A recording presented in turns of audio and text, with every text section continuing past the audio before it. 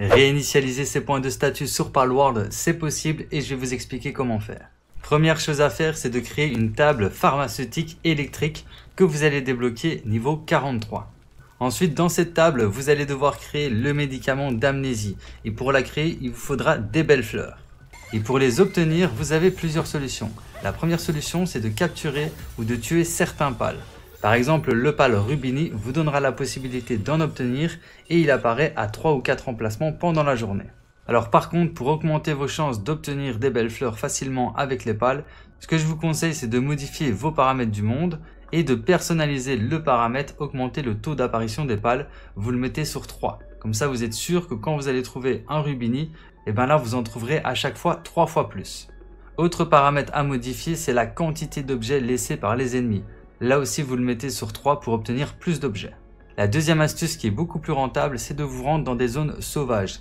Donc il y a trois zones comme celle-ci euh, sur la map. Donc il y en a une tout en bas, il y en a une en haut à gauche, donc au-dessus du volcan, et il y en a une tout en haut à droite, donc à côté du désert.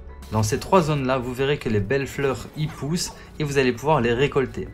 Alors par contre, elles mettent beaucoup de temps à réapparaître, donc ce que je vous conseille, c'est d'aller modifier les paramètres de votre monde et de personnaliser le paramètre qui est tout en bas, qui est l'intervalle de réapparition des éléments à collecter. Là, vous le mettez sur 0,5 pour qu'elles réapparaissent plus rapidement.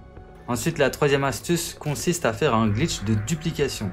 Donc si vous ne savez pas comment faire ce glitch, il y aura un lien en description en commentaire épinglé qui vous l'explique grâce à ce glitch, si vous avez 20 belles fleurs, vous allez pouvoir les dupliquer par 20. À chaque fois que vous allez faire le glitch de duplication, vous aurez 20 belles fleurs qui s'ajouteront à votre stock.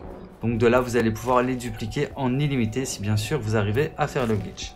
Ensuite, quand vous aurez réussi à créer le médicament d'amnésie, vous n'aurez plus qu'à l'utiliser pour réinitialiser tous vos points de statut et les placer comme vous le voulez.